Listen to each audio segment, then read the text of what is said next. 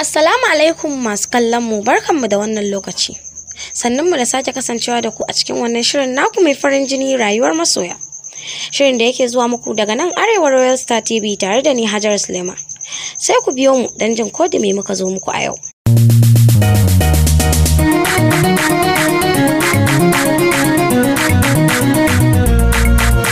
Soyayya dai gishiri ce a rayuwar mutane baki ɗaya, amma dai taka leda a fagen abu ne da ya fi ƙarfi ga matasa. Samari da 'yan mata kan shiga tasku irin na ƙauna a duk lokacin da aka samu tangarɗa tsakanin juna. Sautari saurayi da budurwa kan ɗau tsawon lokaci suna musayar kalaman ƙauna. Kama daga zan rayu da ke, zan mutu da ke, kin zamo jinin jikina da dai sauransu.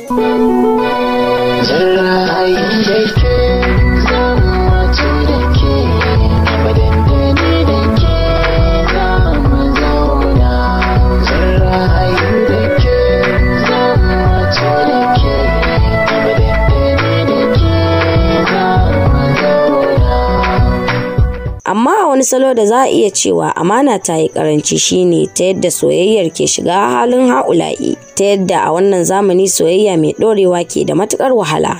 Wani lokacin da 'yan matan kan sanya a ransu cewa duka maza mayaudara ne, waje guda su ma samarin na da makamancin wannan tunani. To shin kowa ke da alhaki wajen rushewar soyayyar da aka ɗau tsawon lokaci ana ginawa? Wannan dai tambaya ce da na yi wa wasu samari da ke cikin kogin ƙauna tsundum. Um, gaskiya according to my experiment abubuwan da suke janyo yaudara a soyayya suna da yawa sai dai da most important ina ganin baya wuce buri da kuma haɗama ko in zan ƙara in ce rashin sanin ya kamata abin da nake nufi a nan shine idan kana soyayya da yarinyar take da buri so duk sanda ta ga wani abokinka wanda yake wayan shi ta fita aka kyau ko kayansa sun fi naka kyau ko business ɗinsa ya fi naka samun kuɗi it is easily yarinyar ta rabu da kai ta koma gun wannan friend din naka ko kuma wani even if he's not your friend Ni da hajara a gani na tara samari ma iya kawo yaudara. Har in dai kika samu saurayin da kike so yake son ki tsakani da Allah to bai kamata a ce ki ringa kula samari ba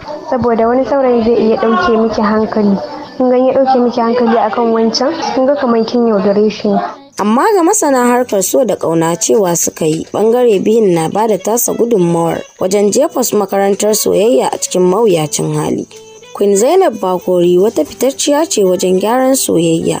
Ta min bayani kamar haka. gaskiya za ka ga yarinya ta tashi at the age of 13-14 za ta fara soyayya. Tana jin tana son wani maybe dan ajinsa na secondary school ko kuma ta gama secondary school ta ji tana son wani.